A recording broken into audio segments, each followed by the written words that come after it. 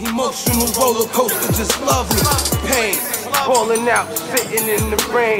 Pain, I'm trapped in my, my, I'm fighting The off worst this pain. part of this feeling is not knowing where it come from. Been dealing with pain, learned broke me down, had me fighting just to stand up.